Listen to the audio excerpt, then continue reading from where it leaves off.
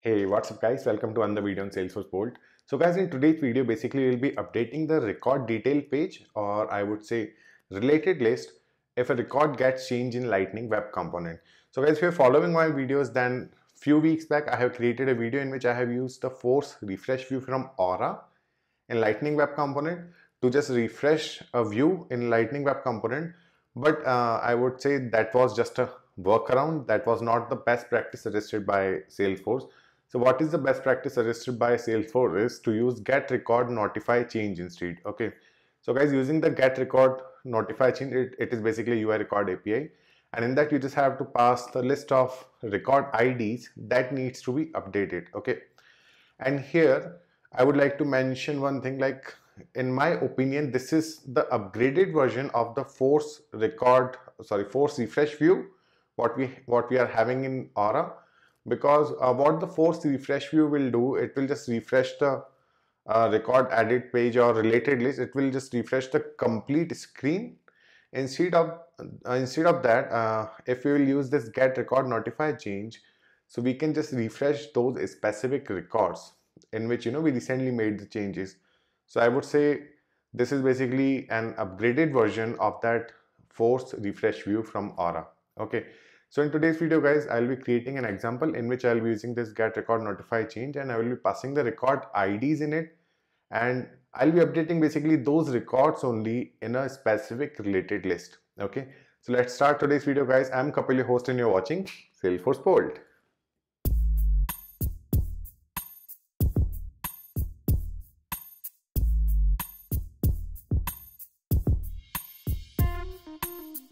Alright guys, so I have already created an example for this get record notify change. Okay, this is basically UI record API through which we can update. It will basically, uh, I would say, advanced version of that uh, refresh view, the Aura one. Okay, so uh, the word I'm using advanced version, it is because like you can not only refresh the current record page, but you can also pass a list of all record IDs you have added or you have updated okay. So basically force refresh view was refreshing the whole page where get record notify change is only refreshing the record you ask him to refresh. Okay. So if your apex course is having some instance update to the parent record but some child records as well so you may have to pass the pass get record notify change all the ids updated by your apex method and if you see so this actually makes sense because when you think about it so in lwc we are trying to make make everything a little more faster uh, or i would say lightning fast. So everything has been done uh, here with performance in mind okay? Because whatever you are creating whatever you are building the functionality should be fast enough okay? So updating only a subset of record instead of the whole page will always be faster. I mean, of course, I mean, instead of refreshing the complete page, which can have, I would say, multiple related list, okay, this actually does not make any sense. I mean, if you're updating a single record, let's say if I'm on a account record and I'm just updating my child contact in it, okay, then I don't have to refresh the complete page to get the update. I can just pass that specific ID and I can just update that specific part of it okay so that is basically I would say benefit of this get record notify change and that this is the reason why I'm calling it an upgrade version of that uh, force refresh view Aura one thing okay? There is only one thing where get record notify changes is not good over the aura thing the refresh view thing is that like you won't be able to bring new records to the local cache let's say uh, if you have created a new contact from the account detail page or account record page so if you will call the force refresh view so it will just refresh the complete view and it will just show you the new contact that has been created recently. But using the get record notify change you can refresh the existing contact in the related list but you won't be getting the new contact that has been created right now okay? For that you have to do a hard refresh maybe. Yep. So that is the only thing which i which i personally feel is not i mean perfectly working the way it should work. Because i think at least i mean if we can have the functionality like where we can refresh a specific thing let's say instead of a record why can't we just refresh a specific related list? So maybe you know that could help you but anyways guys let me share the example with you okay? So this is my account record. And in my this account record i have created a data table okay? And underneath that and on the right side as well i'm having the related list of contact okay? So in this data table basically we'll be having few contacts and those contacts will be having inline editing function all right and using that inline editing we'll be just trying to update the first name or maybe last name of the contact record. And then we will see if it is if it is getting updated on the related list also. Okay. So let's create some new contacts first. So for testing purpose i will be just creating two contacts here. Okay.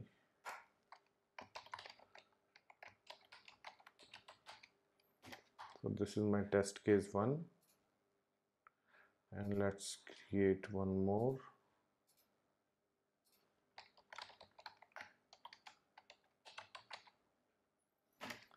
Okay. So here I'm having two contacts test case 1 and test case 2 and if you'll notice the contact has been updated in the related list as well. Okay. So now reload the page to see them in the database. Sorry in the data table. Yep. So here are our contacts. Okay so right now I'm having that get record change get record notify change in my functionality so let me just remove it for a second and show you the output of it.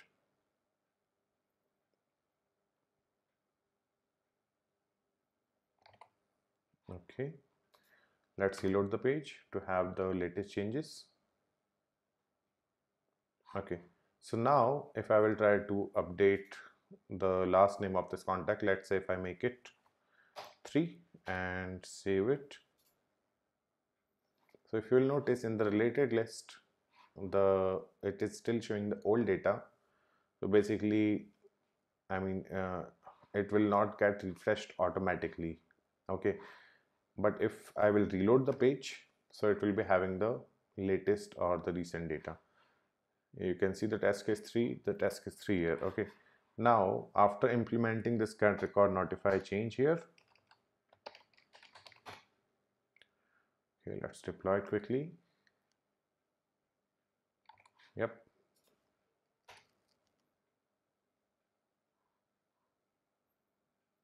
All right, now let's try to update it. Let's make it 2 again. Okay, so I'm updating the last name. I'm making it 2 again from test case 3 to test case 2. Okay, now if you'll notice the related list value, okay, so see, so the related list has been updated or I would say that specific record uh, which was having the ID inside this get record notify change uh, is being updated here. Okay, we are not refreshing the complete related list. We are just refreshing a specific record. Maybe I mean if you need to refresh complete list as well, you may just pass all the IDs uh, from the list to this get record notify change. But in my case, I'm just passing a single record ID that is you know uh, that is getting updated by user just to update the related list as well. Okay. So this is the functionality. Now let me show you how you can implement it okay so this is my component guys the component is contact for account so basically we'll be getting list of contact related contact for account so on the html part if you will notice so this is just a basic data table i would say so let's skip this part and anyways by skipping it I'm just not explaining it in video, but definitely, I mean, in the blog, you will be having this code as well. Okay. Let's go to JavaScript. So in JavaScript, guys, first of all, I'm having a function to get the contact in from the contact controller. Okay. This, this is just a basic function in which we are just refresh, we are just retrieving the contacts. Underneath that, we are having refresh apex because we need to refresh the data table as well to show the recent data okay now let me show you the good part which is the update contact function in which we are just updating the contact by passing the IDs and get record notify change. So you just have to import it from the UI record APIs okay. So now let me explain it to you. So here I'm just creating the data table. Okay. So this is still the same basic part uh, from LWC I have just made these two fields editable. So I have just uh, uh, make it inline editable here. Okay. And here I'm having the record ID columns. Okay. And here I'm uh, I'm binding that method. Uh, so basically I, I, have created a wired function here to get the contacts using the record ID okay. Now what I'm doing uh, to trigger the get notify record change I'm I'm having it on my handle save which is basically the save buttons click. Okay you just have to make sure like it should be a, a sync process because it is going to run in the backend. So I mean that's what was mentioned on the official document. I will share the official document link as well in the description below. So the function needs to be async here okay?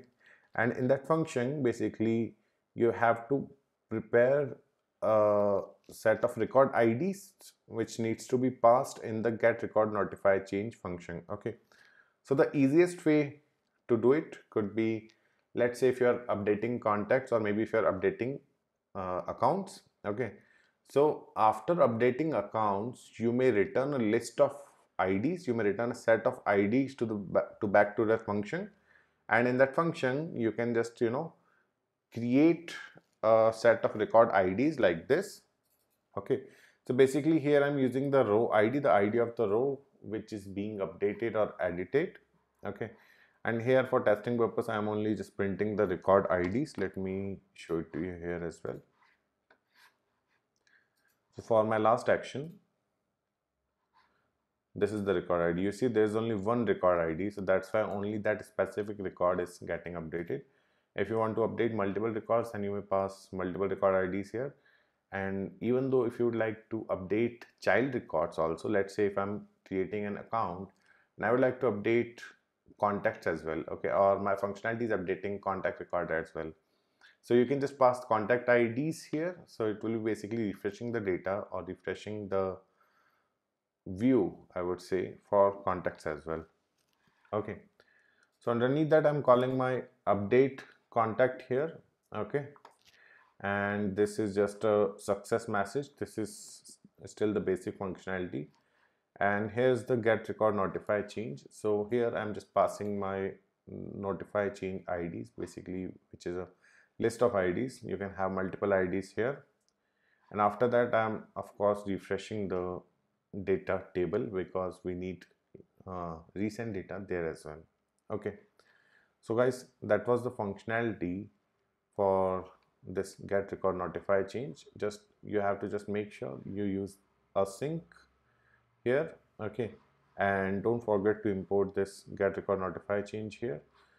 So yep that's it. And uh, the only thing which is missing is to refresh the complete view which is not possible in this get record notify change which was available in the in that uh, force refresh view thing okay?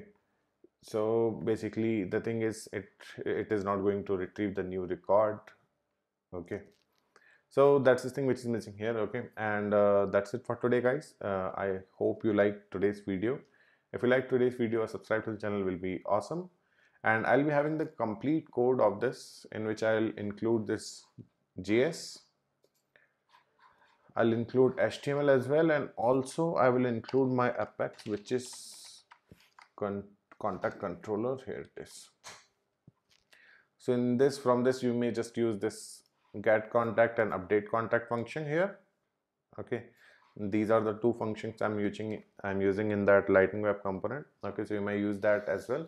I'll be having these uh, these three things apex javascript and html on my blog also. So if you need the complete code do check out the blog and feel free to modify the code as per the requirement.